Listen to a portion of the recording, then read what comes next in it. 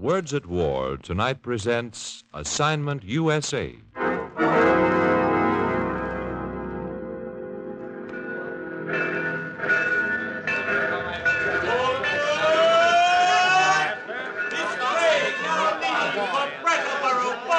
Washington, Atlanta, Mobile, San Antonio, Los Angeles, Seattle, Spirit Lake, Iowa, Minneapolis, Detroit, and all points north, south, east, and west. You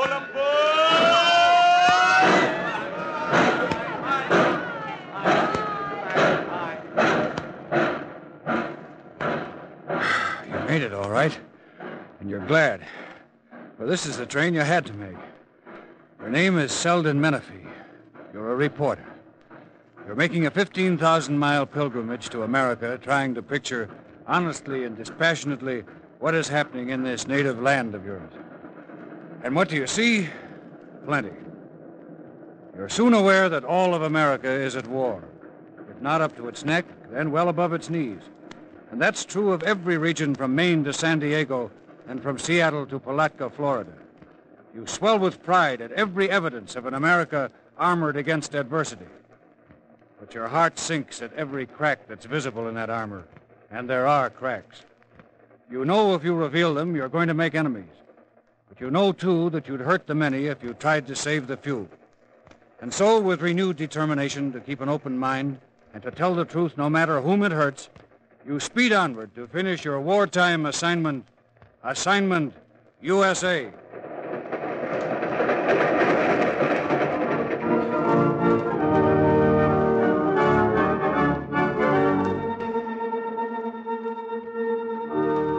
This is another of the Words at War programs presented by the National Broadcasting Company in cooperation with the Council on Books in Wartime.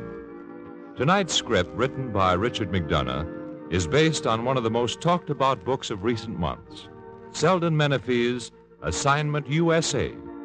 Later on in the program, Mr. Menefee himself will speak to you.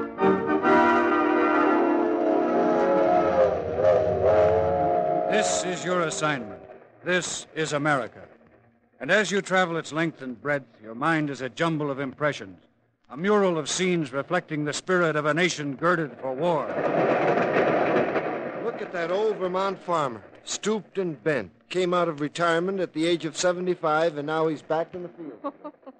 A bunch of WACs, light-hearted kids, on their way from Texas to Des Moines for induction. Me, I'm I'm 16. I live in Fairfax, Virginia, but I come over to Arlington to work in the machine shop. Oh, oh, sure, I had to quit high school to do it, but I'm making 70 cents an hour, seven days a week. A tiny plantation cabin near Natchez, Mississippi. Five service stalls in the window. A worker at Willow Run. What does Rickenbacker mean saying we won't work? There's nothing I'd like better than a chance to put in eight hours of good, solid work a day. A coal miner near Hazard, Kentucky, with tears in his eyes. I don't want no strike. My son is in the Army, and I'm afraid it might hurt him if we close down the mines for one day even. But if there is a strike, I'll go out with the majority. Yes, I'll go out with the majority. Yes, a jumble of impressions, a mural of scenes reflecting the spirit of a nation girded for war. But you remind yourself that murals appeal most to the art critic and the idly curious. So you resolve to present your observations as simply as possible, region by region, town by town.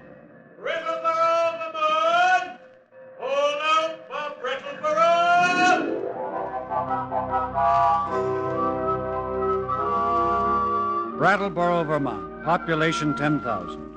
A large village sprawled on the west bank of the Connecticut River. For the most part, the people live in large, old fashioned white frame houses, are cagey with their money, attend church regularly, and vote Republican every November. But apart from its voting habits, Brattleboro is more typical of Yankee New England than is Boston. If you were going to write a melodrama around Brattleboro, this might be one of your most effective scenes.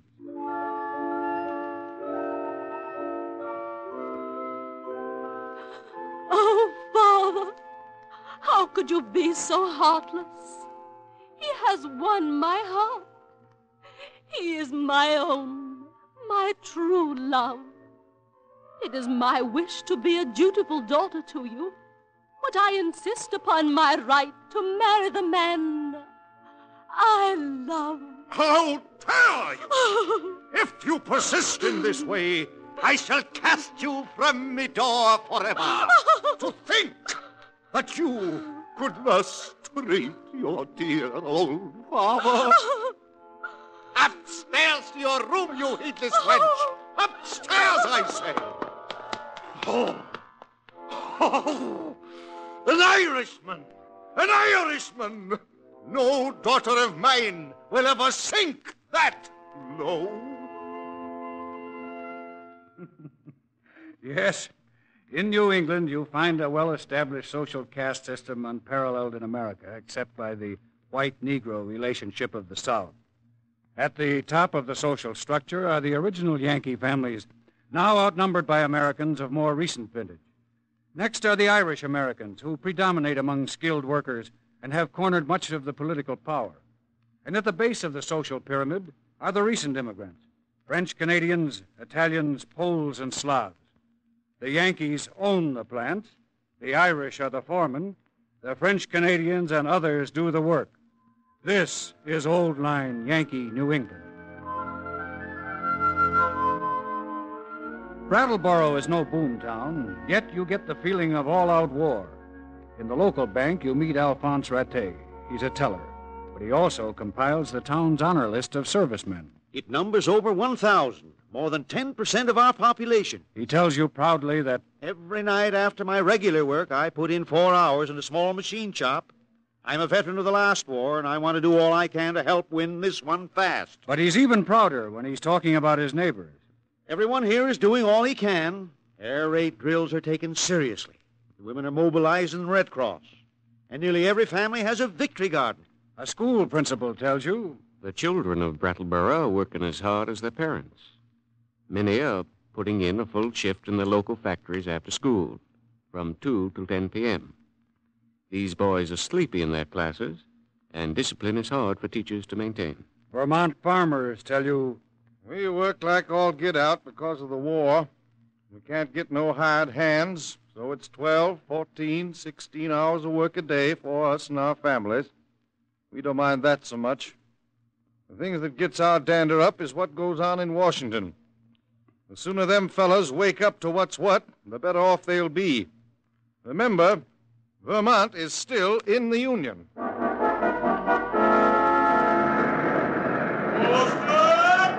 All out to Boston! Boston! Last stop! You come into Boston feeling good. There's a grin on your face. You stride blithely down the street, repeating an old rhyme more or less accurately to yourself. Dear old Boston, the home of the bean and the cod, where the Lowells speak only to the Cabots, and the Cabots speak only to. Yes, you have to stop. You're startled. Across the way is a large patriotic poster. It has been mutilated. The word united has been changed to Jew-nited. An intelligent looking fellow approaches. You ask him to explain the mutilation of the sign. You want to know what effect seeing it will have on him. He looks at it, grins, and shrugs as if to say, So what? Then he stops grinning. A suspicious look comes into his narrowed eyes, and he says, Say, where do you come from? New York. Oh, yeah? I thought so. Now, wait a minute. My name is Menefee. Maybe I haven't got as much Irish blood in my veins as you have, but I still have the right to wear the green on St. Patrick's Day. And if you have me, Bucko, you'll do two things. You'll mind your business. You'll watch out for the codfish aristocracy, the lace curtain Irish, and the Jew United Brethren. Good day to you, sir. You shake your head to clear it, and you mosey around Boston. Outwardly, the war has come here as to other American cities. There's a large victory garden in the Common, directly in front of the State House. The want ad sections of the papers are filled with appeals for shipyard and industrial workers. The stores are crowded. Yet nearly every Bostonian you speak to, those who will open up at all, is conscious that something is radically wrong behind the scenes. Isolationism, anti Semitism, pro appeasement are more rampant in Boston than in any city in the land. And the role played in this disunity by your own beloved Irish is particularly disheartening. This is not your own impression. You get it in the cold turkey talk of responsible Irish Americans. You jot down what these people tell you. The Irish are an absolute majority and run the city from top to bottom. They are predominantly anti British, anti Russian, anti Semitic, and anti New Deal. Why? Tell me why. Well, most of it goes back to Father Coughlin's paper, Social Justice, which was sold every Sunday in front of the churches and subway stations till it was suppressed. But then the Irish are anti almost everything. They're brought up to think that all the controlling powers are against them. They hate the codfish aristocracy who look down their blue noses at the upstart Irish as long as they could. They don't even trust members of their own group who have become successful, the lace curtain Irish. Their religious teaching, after all, glorifies poverty and simplicity, and their pride makes them resent all attempts at reform as attacks on their way of life.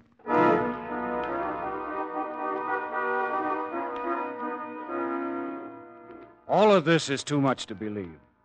In order to disprove it, you're willing to fight it out on Boston Common if it takes all summer. But you're up against it, for facts won't be denied. You find that isolationism is strong and democracy weak in the ruling circles of Massachusetts. You learn, for instance, that an overwhelming majority of Bay Staters instructed their state representatives to cast their ballots in favor of a federal world government. That was what the people wanted. They proved it by a vote of three to one. And what did the legislators do? They simply refused to obey the people. At the hearings, Francis P. Moran, former head of the Christian Front in Boston, showed up to proclaim This country was doing all right until it started mixing in other people's affairs. And Boston City Councilman Michael Kinsella added I would ring this country with steel from the Canadian border to the Mexican border, from ocean to ocean, and then say to the others, work out your own destiny. We will not fight for you, nor will we feed you. And you mark that down in your little notebook as a classic statement of the pre war isolationist position, especially when you realize it was made in 1943.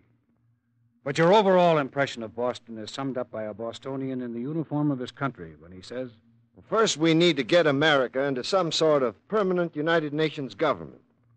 Then, and this will be the much harder job, we'll have to set about getting Boston into the United States.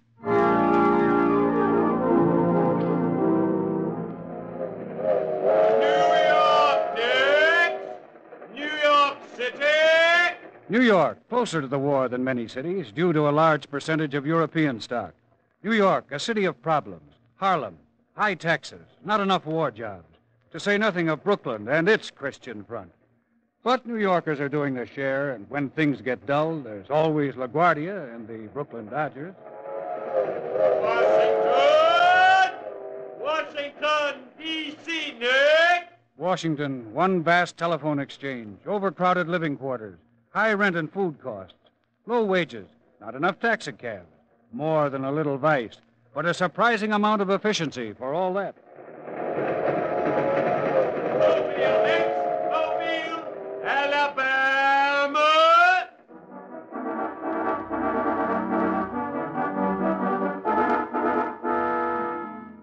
Are we war conscious in Mobile? Heck, mister, take a look at those booming shipyards. Try to get a furnished room or a house. Spot those young girls soliciting on the streets. Notice the dirt, the filth, the boys stealing cars, robbing stores, and going to school drunk. War conscious in Mobile? I should say we are. And poor white conscious, too. The sooner the war's over, the sooner we'll get 'em out of the shipyards, out of the town, and back to their pea patches in the swamps where they belong. Mobile ain't fit to live in.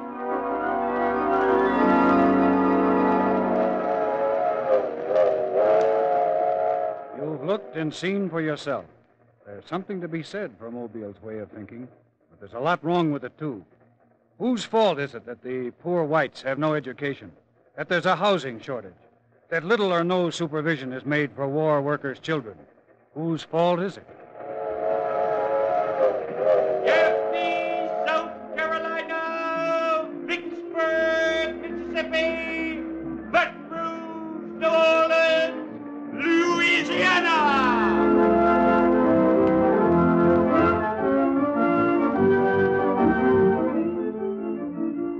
Your eyes peeled coming through Dixie, and honesty compels you to make a note in your little book.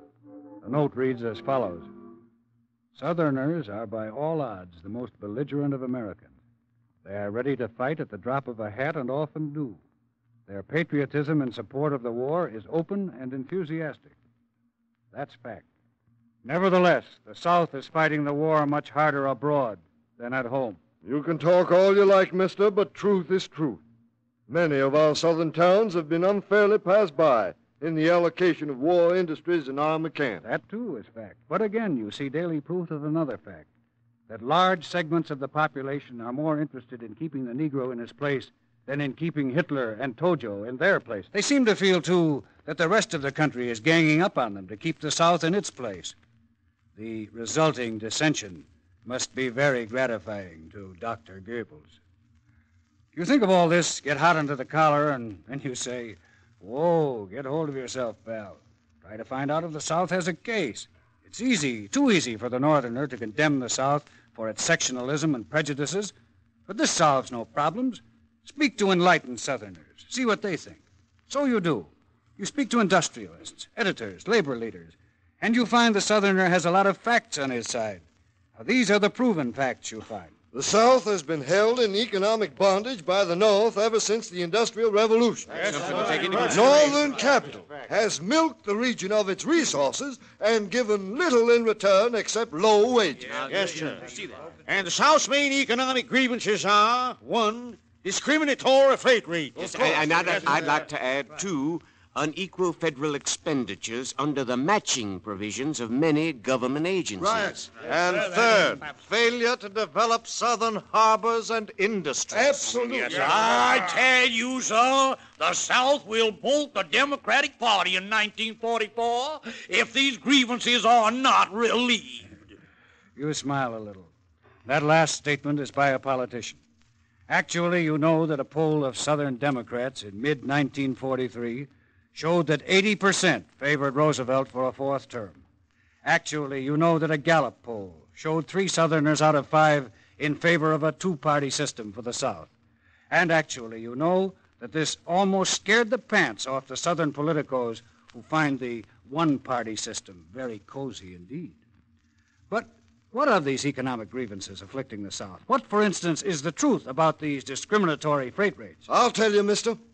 For the past 70 years or so, the South has been prevented from shipping goods to northern markets on equal terms with the North or Northeast, mile for mile. Yes, sir. For instance, it costs a dollar and 69 cents to ship 100 pounds of goods from Boston to Chicago, but it costs $2.68 to ship the same amount from Lake Charles, Louisiana, although the latter distance is shorter by 25 miles. What do you say to that? Hmm, that's interesting. Interesting. It's criminal, sir. These discriminatory freight rates operate to give an unfair advantage to northern industry while holding the South back. By hampering industrialization, they have kept wages down, and this in turn has kept the South poor and unable to help itself. I tell you, sir, we'll bolt the Democratic Party. Eh? Next, you ask, what's this about unequal matching of federal funds? we object to the system of matching state and local funds with federal funds for Social Security and other programs. Doesn't make Now, sense. wait, wait, wait. The matching system is one way of decentralizing control over our government programs. I would say it's thoroughly consistent with the Southern theory of states' rights. Or is the South giving up that theory? We are not, sir. I tell you, sir, we'll bolt the Democratic Party if state rights are in danger. Oh, for heaven's sake, shut up for once. Now, look, mister, we're for the theory of states' rights, yes. But theories go out the window when the pocketbook begins to suffer, as it does here in the South. For remember, the southern states are full of needy persons and therefore low in tax receipts, so they can't always raise funds for matching purposes. Here's the result. In California, an old age pensioner gets $30 a month, with the federal government matching the state's contribution of $15. But in Georgia, the pensioner gets only $8 a month. The state can afford only $4, and the federal government won't do more than match it. In short, them that has gets. Them that hasn't doesn't. That's the Well, obviously, what's needed is some minimum federal standard of Social Security, health, and education, with more money going to the South if necessary to raise it to the level of the rest of the country. Now you're talking. But tell me, tell me, how would all of these things, if you got them, how would they affect the most burning question of all down here? The racial question. Sir, there's no racial question down here. There is white supremacy, and there always will be white supremacy. We have no patience with these fellows in Washington with their anti-lynching bills, their anti-poll tax bills. I tell you, sir, if Washington doesn't watch itself, the South will bolt the Democratic Party.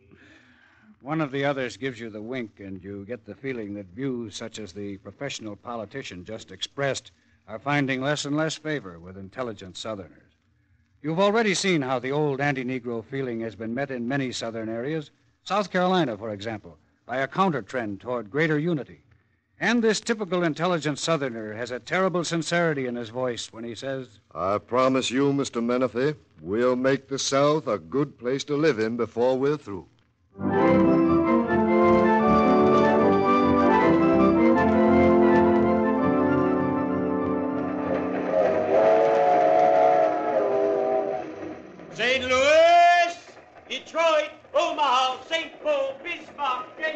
This is it, the Midwest, the famous home of isolationism.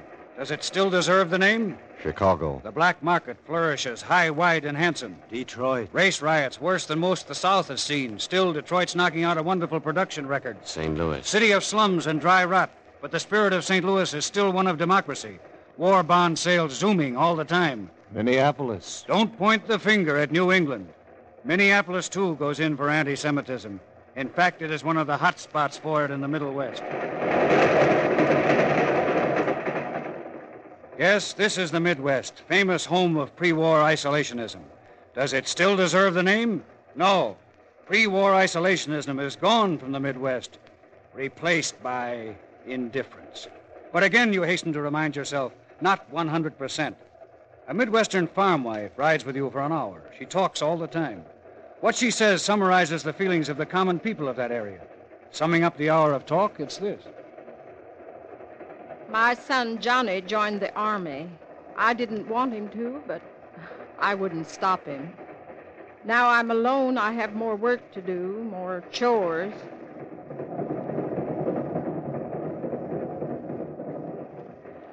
Folks say there's got to be a war ever so often. I hope that ain't so. I wish they'd get busy and do something to stop all this from ever happening again.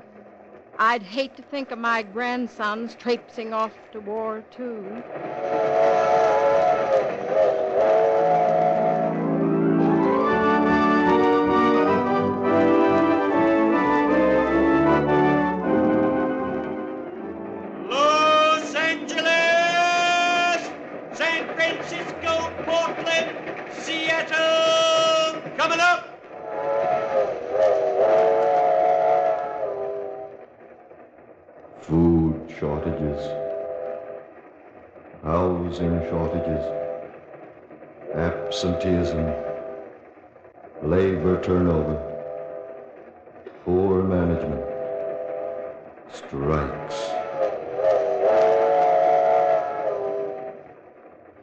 Yes, there are clouds darkening the western skies. Clouds that add up to low morale in war plants and shipyards. Clouds that dim the prospect of 100% production for victory. You know this is true. You've seen it. Not that you're too downhearted. They're still doing ten times better than Hitler and Tojo would like, but not as well as the rest of us want them to. Who's to blame? Management says. It's the workers. They're shiftless, dissolute. They're not accustomed to hard work or prosperity.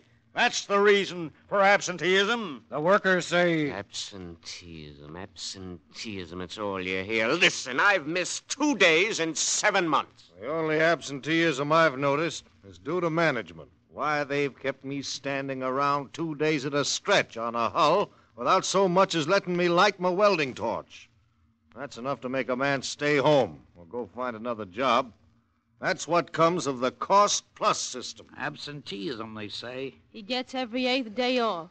Did you ever try cramming eight days of chores into one? We have to file our income tax and see the ration board and fix a car. And clean the house and plant our victory gardens, all in one day. Shipyards are crowded and hard to get home from.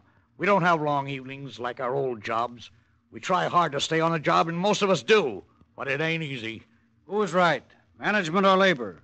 You come to the conclusion that both are. Yes, both are right, but the trouble goes on. Waste and inefficiency are far from uncommon.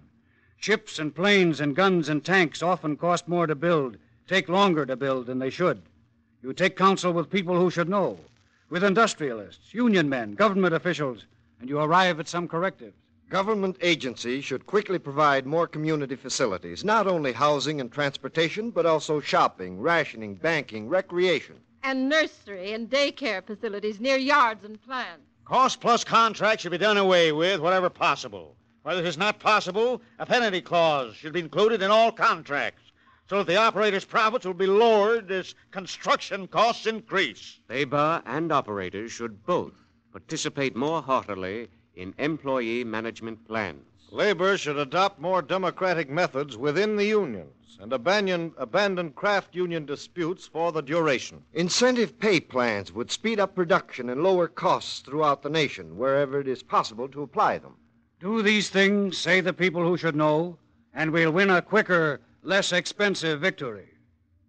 Whether or not they will be done, just as whether or not we're going to drift back after victory to the old head in the sand isolationist ways, depends on the greatest aggregation of free men any reporter ever surveyed the people of the United States of America.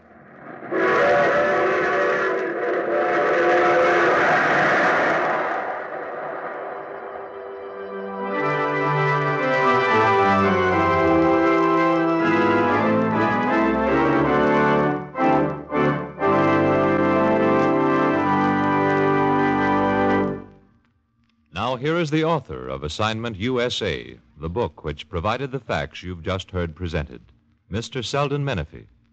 Thank you. Every statement made in this broadcast is absolutely true. I have documentary proof of every event described. But, should you by any chance be burdened with a heavy heart due to what you've heard, perhaps it will help if I, who made the trip around America, give you my overall impression. It's this our people are doing a wonderful job of fighting this war, despite the mistakes that some of them are making. We're building more weapons, buying more bonds, and thinking straighter and clearer than ever before in our history. And that last point is very important. The public opinion polls show that we Americans know pretty well what we're fighting for. They show we are determined, in our blundering, vague way, to win the peace as well as the war.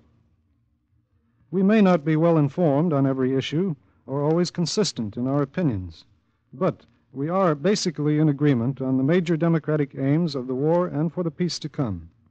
This is, in a very real sense, a people's war, and our citizens are determined that it shall be followed by a people's peace, both at home and abroad. Thank you. Thank you, Selden Menefee. You've just heard a radio play based on the important new book, Assignment USA by Selden Menefee. The book was adapted for radio by Richard McDonough of the NBC script staff. Walter Vaughn was the narrator, and participating players were Mildred Clinton, Zamah Cunningham, G. Swayne Gordon, John Griggs, Joseph Boland, Joseph Latham, and Norman Lloyd.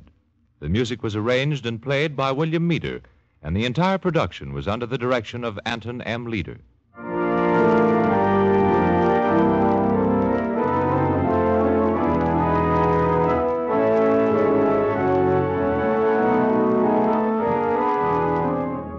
Next week, Words at War will present Miss Tallulah Bankhead in a program based on the book I Served on Bataan by Lieutenant Juanita Redmond. Words at War is brought to you in cooperation with the Council on Books in Wartime by the National Broadcasting Company and its affiliated independent stations.